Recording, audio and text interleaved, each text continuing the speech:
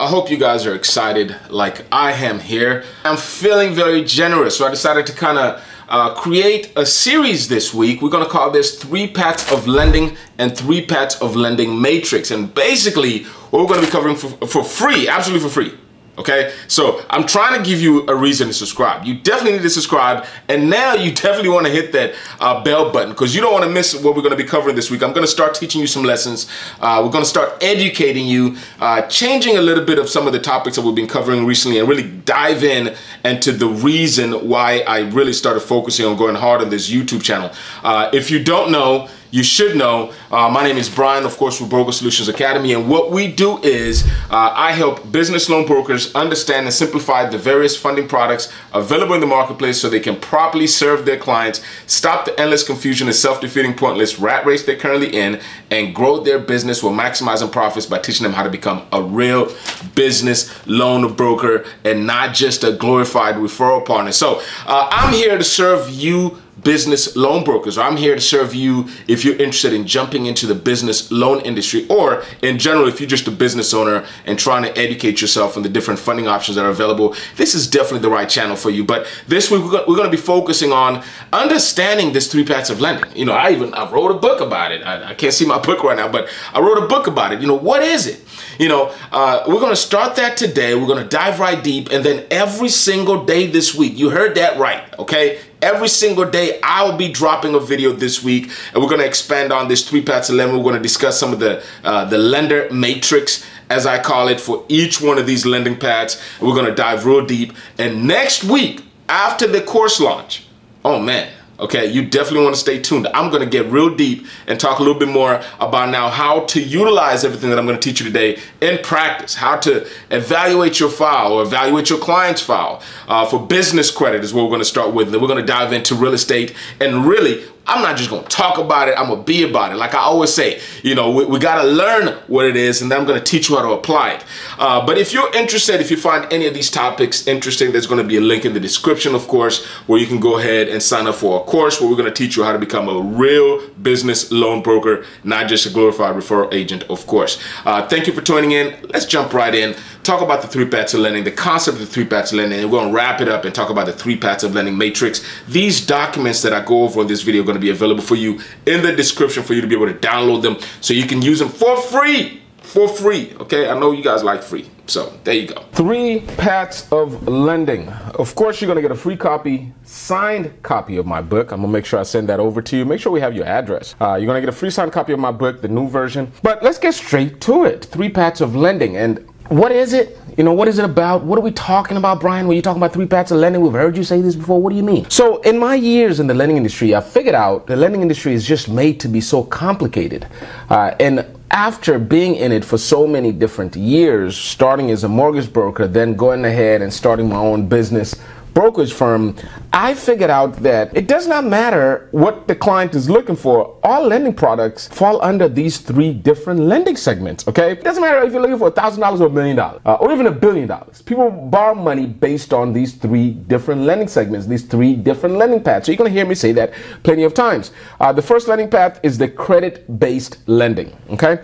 Credit-based lending is any type of lending that the lender makes a decision solely based on the client's credit. Uh, we're either talking about business credit or we're talking about personal credit, but the decision, the underwriting, is emphasized on the credit and the credit alone. Uh, one of the things that I've helped you in order to make sure uh, that you understand exactly what I'm talking about is uh, I went ahead and put all these uh, um, you know, uh, abbreviation. I'm sorry, I forgot the word there. Uh, there. So, in case you know, there's different marketing tactics that are used in order to confuse people about what people are talking about. But again, I want you to know that everything falls under these three different lending segments. So, uh, personal credit, you might see PC, you might see UPL, unsecured personal line. Um, with business credit, you might see BCC, you might see UBL, you might see, you know, line of credit. Uh, but these are the only types of funding that are available when you're talking about credit based funding. Now, there is such a thing as when you're talking about a line of credit and a business credit line or a business credit card. This is the, this is where the play um, playing words kind of come into play, where you know lenders kind of interchange. You know, so let me let's make this make sense. Let's actually define what a line of credit is. Let's just slow down and talk about that first. A line of credit is an account given by a financial institution that gives you access to capital. That's simply what a line of credit is. It's just an account that you've been given access to by a financial institution that gives you access to capital. You know, now there's personal credit cards, which is a, a type of a line of credit.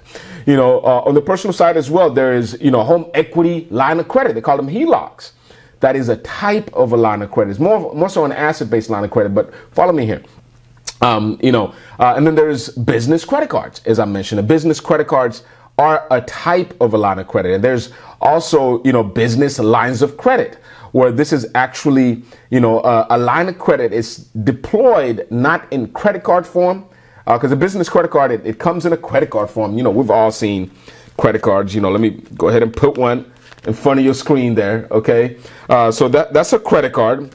Um, and there is lines of credit that are deployed in a way where you get like convenience checks, you know, like business lines of credit, or you can just go in to the financial institution and cash out on the access that you have to credit. So, uh, irregardless, these all fall into these sectors as far as funding which is the credit based funding segment. So these abbreviations is just for you to understand if you ever see any of these, if you ever hear these words personal line of credit, personal credit cards, business line of credit, business credit card, uh, just all pertains to lines of credit that fall under the credit based uh, lending path. Moving forward, Next thing you have is your revenue based products. Okay.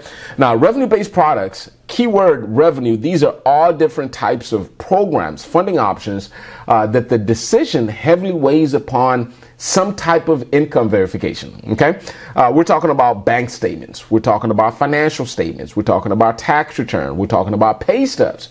Uh, if we talk about in the, the personal loan standpoint, but these is a type of financing that requires some form of income verification in order for you to qualify. Okay, uh, let's go over each one of these individually so we're, we're definitely on the same page. Number one, you have revenue term loans. Okay. Revenue term loans is just, a, and then you, you, you know, RTL is what you might see out there. Revenue term loans are loans that are given to the business based on how much revenue that business brings in monthly quarterly, yearly, depends on the lender's product, really.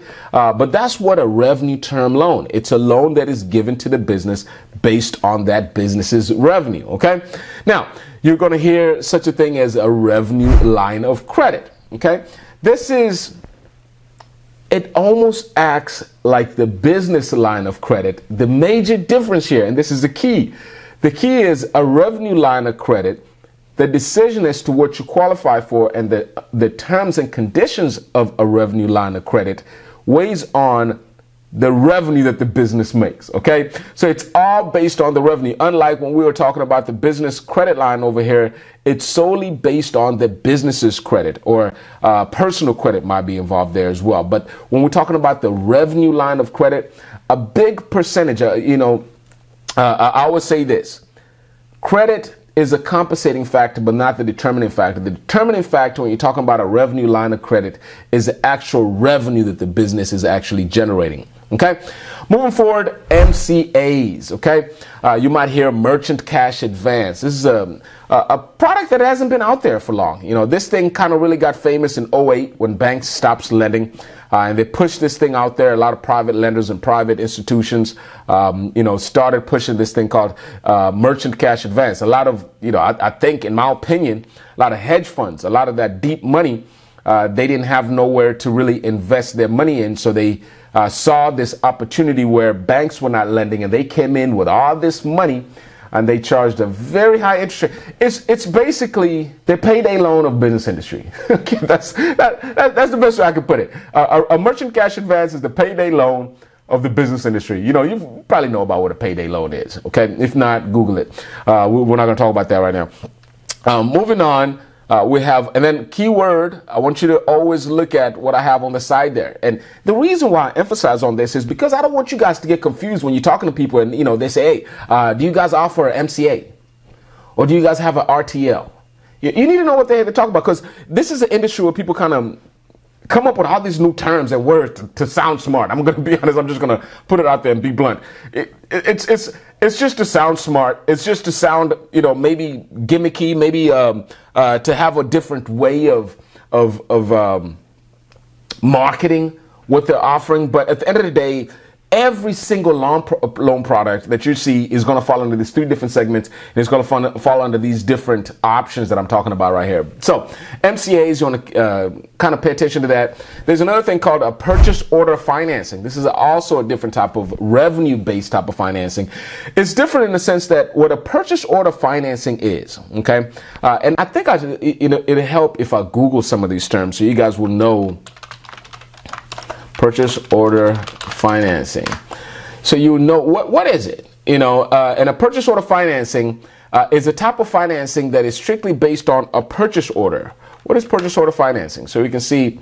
Um, lender pay, so basically what, the way this works is for example uh, let's just say you make candles you know or you um, make cups or you know you design these water bottle i really like this water bottle okay and you just started your business and Walmart really likes this water bottle and Walmart decides that, hey, Brian, um, you know, or Jeff, whatever your name is, or, you know, Elizabeth, we really like your water bottles and our clients really love it.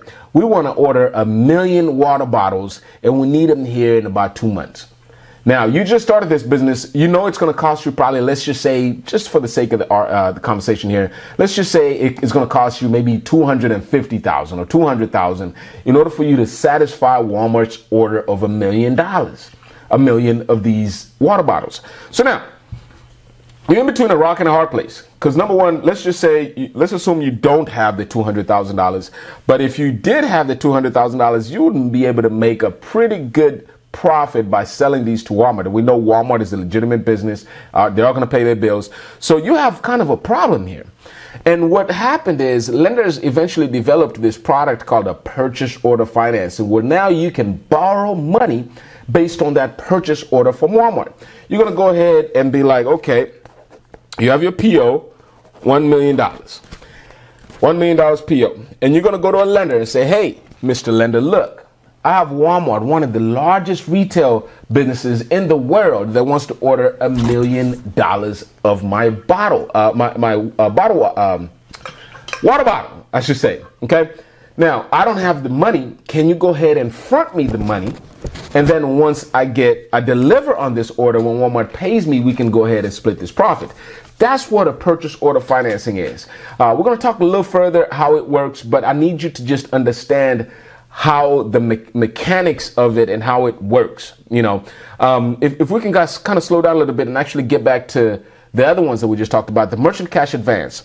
Uh, how does that work? A merchant cash advance is a type of funding where you are actually advanced money based on it, it's it's funding based on future revenue. It, it, they look at what you've been able to do in the past and they advance you money and the payback is based on what you're going to be making in the future. It's, just, it's stuck on a percentage. We're going to talk a little further about it um, here once we talk about exactly how to process and underwrite merchant cash advance. But it's basically a loan that is advanced to you. That's why it's called an advanced based on the future generated you know, revenue of the business. It still falls under the revenue. You know, everything here falls under the revenue. Okay.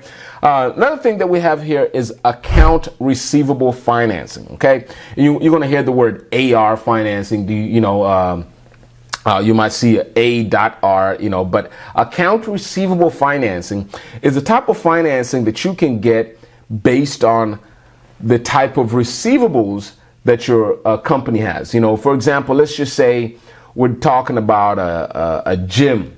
Uh, and a gym generally charges, you know, they charge all different types of fees, but they usually charge on a monthly basis, okay? And they usually have people under contract. Uh, let's just say that you're you're running a gym and your gym needs money, okay? And you have all these receivables, um, you know, and this can work just not for a gym, just but any business, you know, a cell phone company, you know, uh, whatever it is, what type of, whatever type of business that holds a book of business of open invoices, you know, people that owe you money, uh, you can now sell these receivables to a lender and a lender will grant you or offer you a loan, a percentage or whatever you plan to get from this receivable. That's what account receivable financing is. So, in essence, an account receivable allows companies to receive early payments on their outstanding invoices. If you have a company that has any outstanding invoices, uh, you can go ahead and receive an advance. It, it, you can kind of say it works very similar to a merchant cash advance, but it's completely different. Okay, trust me. We're going to talk a little bit more about it uh, when we talk about the inner workings and how to process these applications. Uh, but uh, that's what an account receivable financing is. You need to understand that. And then there is such a thing called SBA loans. You, you know, if you don't know, uh, here in the uh, there is such a thing called SBA. It's a it's a Small Business Administration.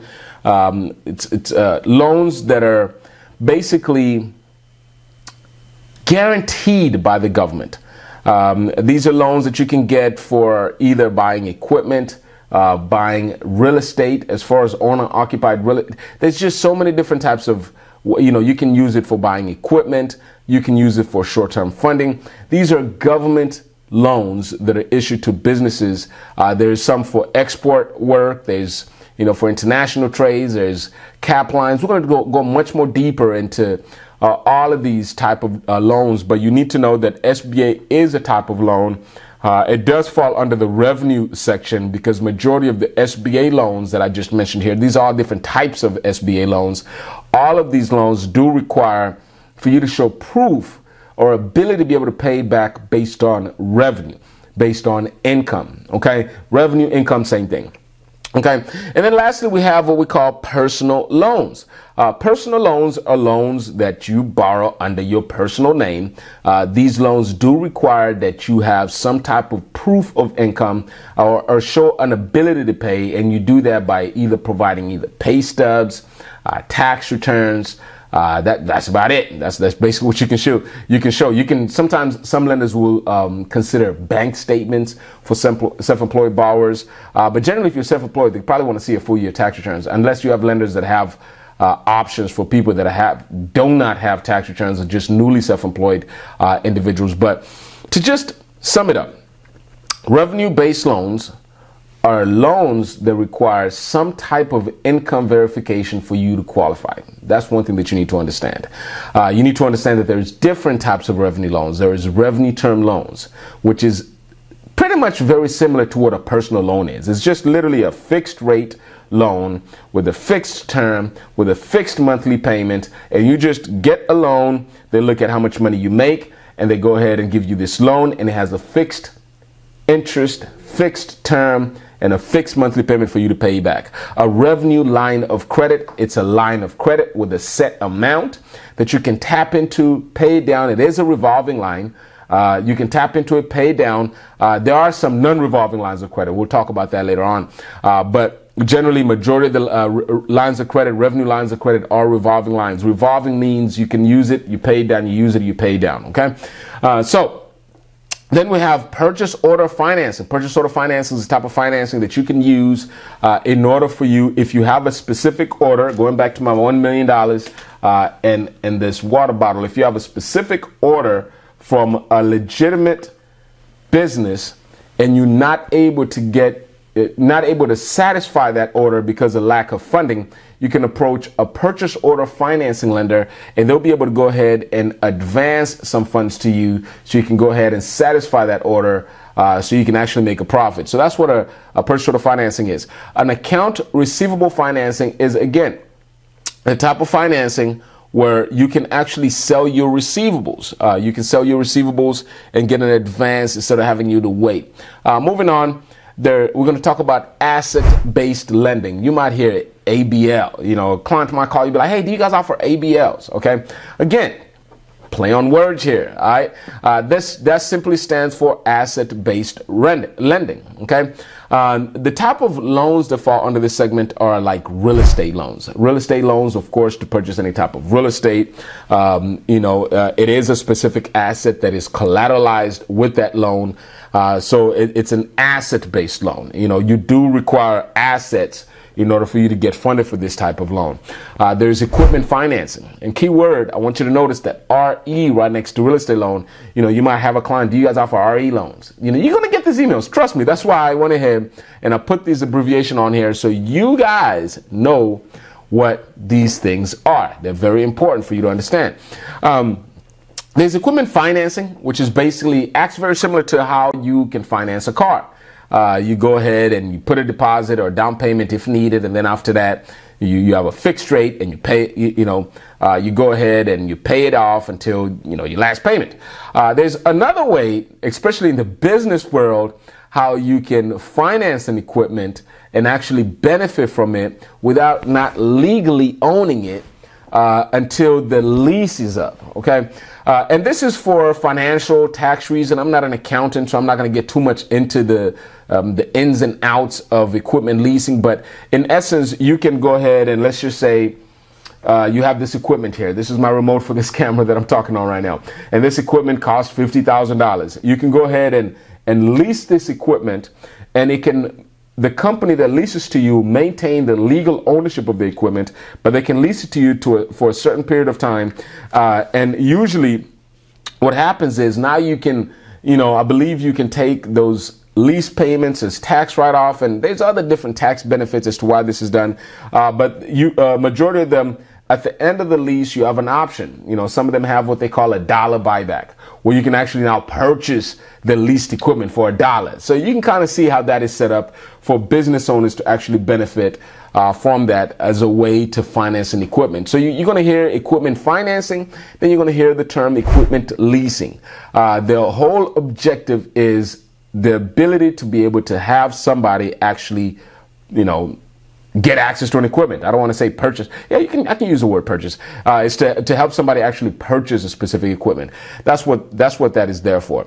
Moving on, you have what we call stock loans. Stock loans. Uh, these are basically loans that are given to business and lenders collateralize on a specific stock or portfolio uh, of stocks.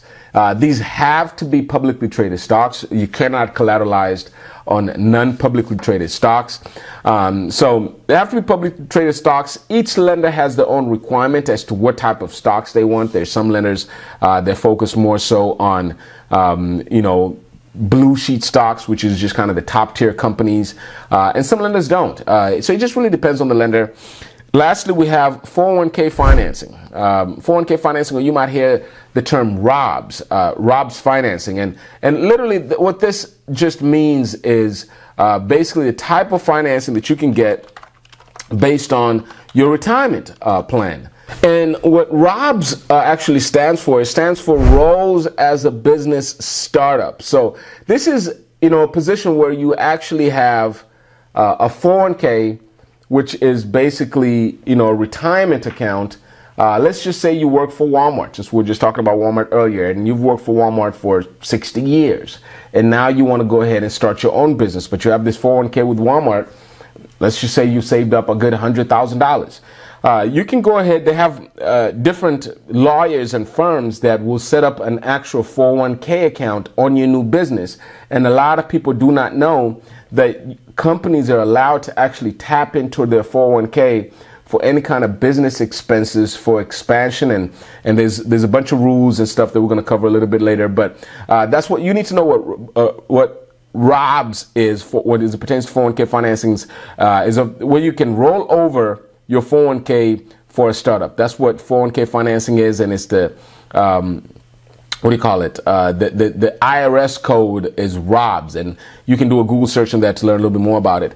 Uh, there's another thing called settlement financing. You know, settlement financing is where you can get funding based on a particular, you know, uh, legal uh, win that you have or legal settlement that you have. You know, uh, generally, if you have a legal settlement, uh, it usually takes time before you can get your funding. Or if you have somebody that really desperately needs the funding, then they can tap into uh, settlement financing loans, which there's lenders out there that if you have a legal uh, case that you've won and you've been handed a significant amount of money, they'll go ahead and assist you with uh, getting you an advance and collateralizing on that specific settlement in order for you to get you the funding that you need. So, anyway, these are all the different products that fall under asset-based lending. Okay, uh, these are all asset-based products, uh, and all of these require some type of collateral, uh, some type of valuable asset in order for you to be collateralized.